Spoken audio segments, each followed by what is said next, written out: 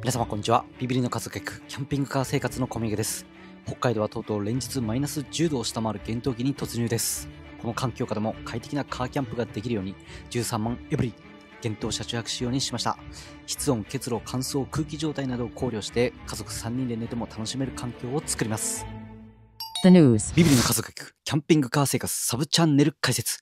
我が家の旅の中で得た情報や今思うことなどをゆるりと配信中。ぜひよろしくお願いします。はい。では中をお見せしていきます。で今回ここにえ僕一人で一回寝てみるんですけども、えまず施した改造、えサクッとご案内していこうと思います。まず断熱に関してはこの Amazon で購入した断熱マットを使用しました。厚さ 5mm の難燃性ゴムフォームにアルミ箔が貼ってある素材のものです。裏側が両面テープになってて、これをペタペタ貼り付けれるようになってます。運転席、助手席、後部のスライドドアのドア割りを剥がして、こちらの断熱材を貼り付けました。あと、底冷えがやっぱり気になります。なので床全面にもこちら貼り付けました。走行中は4人シートにして使うので、シートはしっかり倒せるように貼り付けています。この 5mm の難燃性ゴムフォームの上に床材の土台を乗せるんですけども、こちら乗せても特に不安定になるようなことはありませんでした。エブリーワンのボディに使われているこの普通鋼こちらの熱伝導率が 50W 毎メートル毎ケルビン。対して難燃性ゴムフォームの方が 0.05W 毎メートル毎ケルビンになるそうです。仮に外気温がマイナス20度、室温が15度の状況で1時間放置した後の室温の変化。ボディの普通鋼だけだとマイナス10度まで加工するのに対し、難燃性ゴムフォームを貼り付ければ0度程度で抑えられるのではというコンピューター計算式が出ました。もちろん様々な要因や環境によって全く違う結果になると思うんですけども、実際に今夜寝てみてマイナス環境を体感してみたいと思います。そして前回取り付けた FF ヒーター、こちらの排熱パイプ、ここにも一つ細工を施しました。もともと付属されているこの排熱パイプ、これの他にもう一つこちらのアルミダクトパイプを買いました。このアルミパイプを標準パイプを切断した間に仕込みます。アルミ素材は熱伝導率が非常に高いので、排熱の熱を帯びたアルミパイプ自体が一つの暖房器具的な役割をしてくれないかなと思いました。イメージ的にはこの熱が床全体を温めてくれるというイメージなんですけども逆もしかりでやはり周りの冷気に負けて排熱パイプ自体が冷やされる可能性もあります。そうなると FF ヒーター自体の排熱が低くなってしまうので元も子もありません。この辺は実際にやってみないと分かりませんので今回は FF ヒーターの部屋とちょっと離れたこちらの部屋それぞれに温度計を置いてそれぞれの部屋の温度がどのようになるのか見てみようと思います。続いて窓断熱。これはキャンピングカーロデオでも成功した二重窓を作りました。使った素材は PP プレートというものです。値段は1枚899円。安価ですが非常に優れた素材です。プラスチック素材の中では最も軽い素材。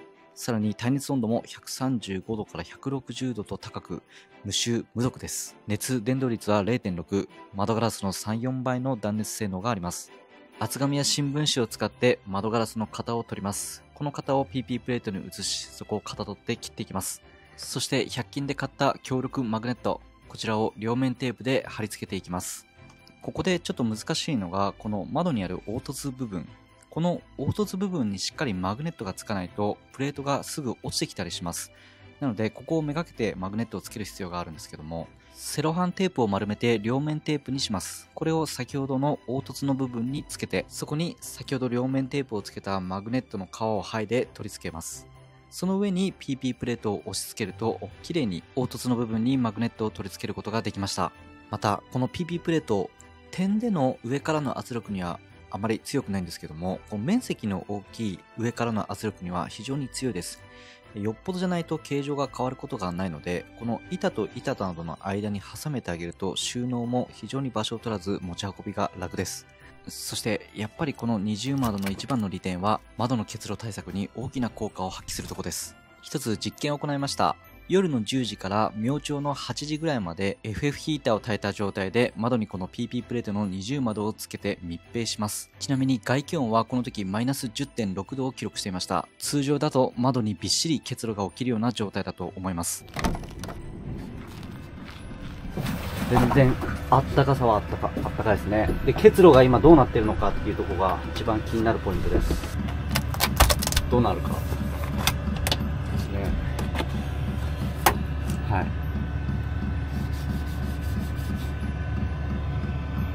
一応霜は降りてるけど結露という結露の感じはないです。はい。この二重窓構造、ロデオの時もそうだったんですが、窓とこの PP プレートの間に空気層ができます。この空気層が氷点下になるので、ここで結露が凍りついて霜となり、液体にならないんですね。ただし、窓にできなかった結露は必ずどこかに逃げていきます。天井の断熱材をつけていない鉄板の部分、ここがやはり湿っていました。湿った暖かい空気は部屋の上層に集まったんだと思います。なので、その湿った空気を換気するために換気扇買いました。こちら楽天市場で多分2000円ちょっとぐらいで購入したものです。3連の換気扇がついて、後ろ側に排気口がついているタイプのものです。え付属のこのゴンベレットみたいなものがあるんですけども、こちらを自身の車の窓の長さにカットします。で、あとはこの溝の部分に換気扇をはめればいいだけなんですね。あとは窓を閉めれば簡単に装着が可能です。ちなみに、エブリーバンの DA64V では、こちら干渉せずちゃんとスライドドア開けれました。今もうこの状態でですね、かなり外気が入ってくるような状態になります。だからこれだけでも換気されてる状態なんですけど、寒すぎたら多分この一つ、二つを塞ぐっていうことも必要になってくるようなアイテムですね。こちらの USB ケーブルです。差し込みます。で、これをポータブル電源ですね。で、これで電源ですね。真ん中を押すと、真ん中だけ吸気します。今吸気してる状態で、こっち側からはちょっと風が入ってきてますね。なので、ここは吸気して、こっち側は、まあ、自然に 外の空気が入ってくるような形になってます。これ3つ押すと、全部回ります。で、部屋の空気を吸って外に出すっていうのは非常に微力なんですけど、夏の暑い猛暑とかのサーキュレーター的な役割は、おそらく力不足で全く効果ないんですけど、この室内の換気をする分にはこのぐらいでいいかなと思いました。はい。この換気扇が少し空気の流れを作ってくれればいいなと思います。期待したいです。そしてフロントガラス前方の方はカーテン取り付けました。曲げれるカーテンレール3メートルです。こちらも Amazon で2000円程度で買いました。え付属の金具を打ち付けるだけですね。そこにレールを通すだけで非常に簡単に取り付けることができました。荷室側までレール伸ばしました。使わないときはこちらにカーテンをまとめていこうと思います。運転中も邪魔になりません。あと、このカーテンの素材なんですけども、え本当は吸水性が良く速乾性のあるウール素材を、えー結露対策のために使おうと思いますけども、やはり売ってないっていうのと、あと重くてごわつきがすごいので、え今回は見送りました。どうしても結露が厳しかったら、ウール素材のものを導入しようと考えています。そして、最も重要になるのが電気の自家発電。ソーラーパネル、屋根に貼り付けようと思ってましたが、軽バンは収納スペースが圧倒的に少ないので、キャリアの設置が必須です。となるとやはり折りたたみソーラーということになるんですけども、今回ですね、このタイミングでオールパワーズさんから折りたたみソーラー特大の 400W のを提供いただきました。折りたたみもえらいことになってきました。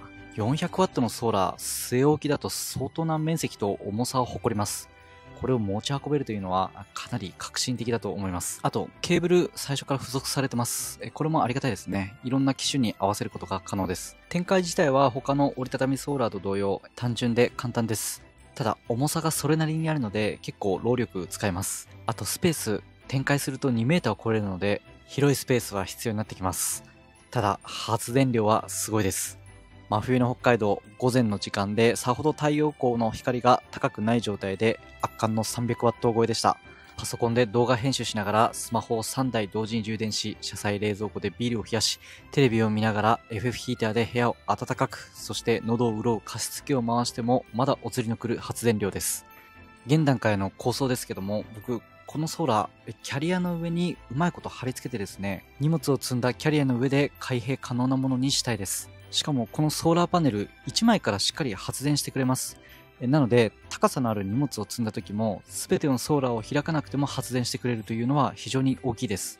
問題はどうやってキャリア上で走行時も吹き飛ばないように開閉可能な装着をするか、じっくり考えようと思ってます。はい。ということで日が暮れて非常に寒くなりました。極寒車中泊検証、参ります。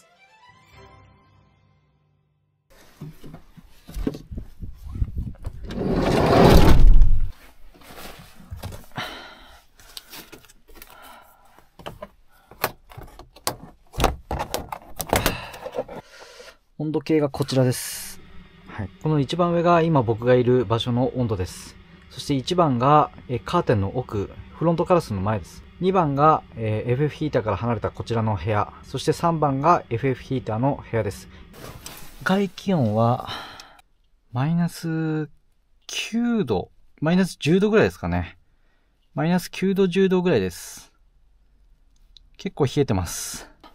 FF ヒーターつけます。今、FF ヒーター着火しました。今、消費電力、だいたい100オーバーぐらいでしょうか。で、時刻なんですけども、今ですね、9時15分です。ちょっとこれでですね、え状況を観察していきます。ちょっと外をちょっと見てきます。排熱の音ですね。はい。音はこんな感じですね。はい。ちなみにこの目隠しですね。PP プレートの目隠し効果なんですけど、全然中の光も透けてないし、いい感じだと思います。まあ、この辺に若干こう光が漏れてますけど、しっかりプライベート空間になってると思います。FF ヒーターつけて1時間が経過しました。はい、室温です。今、20.3度。そして FF ヒーターの部屋が13.8度です。今、いつもの寝巻きと一緒です。で、中が T シャツ、上ロン T1 枚、下パジャマのちょっとモコモコ素材のやつが1枚だけです。で、裸足です。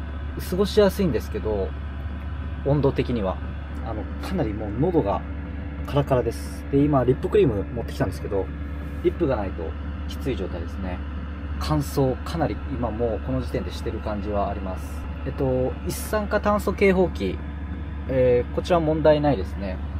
で、今、こちらの数値もゼロです。一応、どちらの一酸化炭素警報器も、えーチェックします。黒の方はリアルタイムで一酸化炭素の数値が見えます。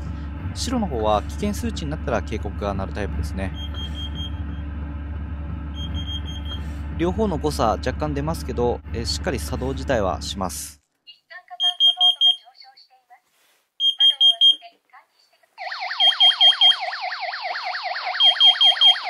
い。で、二酸化炭素は今、えー856、えー1000を超えるとちょっと高くなるんで、若干さっきより高くなりましたかね。えスタートの時は多分400ぐらいでした。で、えっと、実はこの上ですね、温度計仕掛けました。で、こちら上が20.4度。今はまだ、この室内の中の上と下の温度差ってそんなないのかなと思います。まあ、下に向けて今、FF ヒーター耐えてるので、でまあ、下も温まりつつ上に上がってってるのかなっていう感じなんですけど、まあ乾燥しつこいですけど、喉がイガイガしてます。で、え結露ですね。これが、ちょっと曇ってますね、やっぱりね。この辺はちょっと氷がついてます。はい。ちょっと霜降りてきてますね。天井ですよね。天井がどうかなんですけど、うんやっぱりですね、湿ってます。し湿気が上に行ってるなっていう感じがあります。だけど、めちゃめちゃ乾燥してる。ちょっと二酸化炭素の数値も上がってきたんで、換気扇を回します。と、3つ全部回しちゃいます。で、え加湿器、これ炊いちゃいます。一番弱小にして、設定60%にして、で、FF ヒーターなんですけど、設定温度を18度ぐらいまで下げちゃいます。風量3ぐらいにします。これでちょっと休みます、今日は。風の流れが、FF で、まあそっち側に熱源あって、まあ僕も熱源になるんですけど、ここに排気があるんで、こう、こういう風に回ってくれてないかなっていうちょっと願望があります。じゃあおやすみなさい。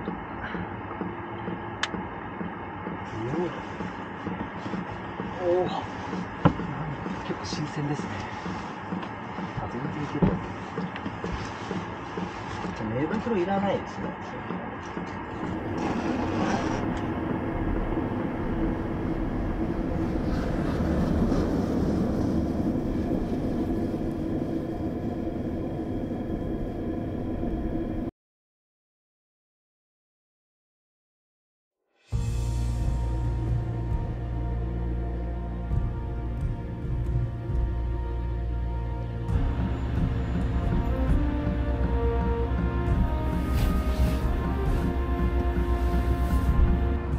6時半になりました。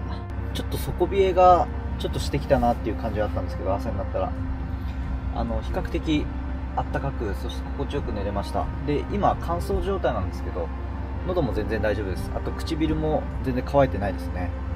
やっぱり加湿器のおかげなのかなと思います。で二酸化炭素も400台なのでもうものすごく空気状態がいいです。で結露ですねやっぱり気になるのが。でまず寝袋とかですね。この辺は全然濡れてないです。あとこの壁ですね。まあ、PP ブレーターはもちろん全然大丈夫なんですけど壁のこういうところですね。この辺も結露は全くないです。加湿器の近くの壁もないです。これは大成功な気がします。全てにおいてパーフェクトです。あとこの PP プレートの中これも多分凍結してるはずです。え？